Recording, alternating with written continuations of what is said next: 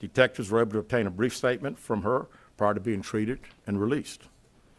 During the statement, she told detectives that while traveling down the interstate, she saw a baby walking down the side of the road and called 911. She stated when she got out of her vehicle to check on the child, a man came out of the trees and mumbled that he was checking on the baby. She claimed that the man then picked her up and she screamed. She stated he then made her go over a fence. She claims he then forced her into a car, and the next thing she remembers is being in the trailer of an 18 wheeler. She stated that the male was with a female. However, she never saw the female, only hearing her voice. She also told detectives she could hear a baby crying. She told detectives the male had orange hair with a big bald spot on the back. She said she was able to escape the 18 wheeler and fled on foot, only to be captured again and then was put in a car.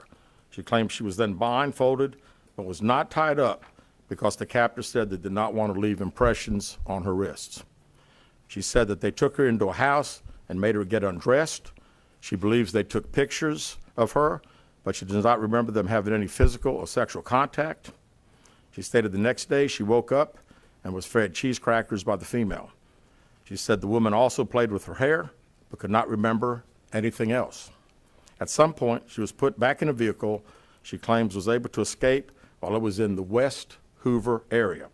She told detectives she ran through lots of woods until she came out near her residence. During this interview, detectives noted that Carlee had a small injury to her lip, and she claimed that her head was hurting. She also had a tear in her shirt. Detectives also noted that she had $107 cash in her right sock. Out of respect for Carlee and her family, detectives did not press for additional information in this interview and made plans to speak with her in detail after giving her time to rest.